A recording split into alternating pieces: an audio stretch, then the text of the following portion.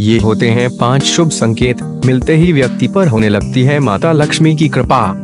हमारे धार्मिक शास्त्रों में शुभ अशुभ संकेतों के बारे में विस्तार से बताया गया है। शुभ संकेत मिलने से व्यक्ति पर माता लक्ष्मी की कृपा प्राप्त होती है। इन संकेतों के बाद व्यक्ति के जीवन की परेशानियाँ धीरे धीरे खत्म होने लगती है और सुख संपन्नता आने लगती है।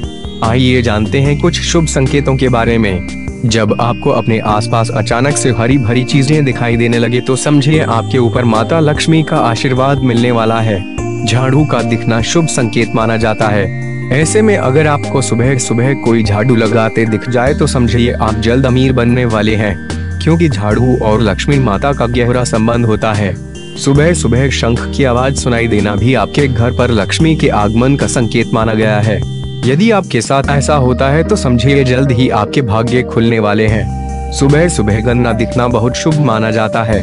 यदि आपको अचानक सुबह अपने आसपास गन्ना दिखाई दे रहा है तो ये साफ़ संकेत है कि आपके अच्छे दिन आने वाले हैं।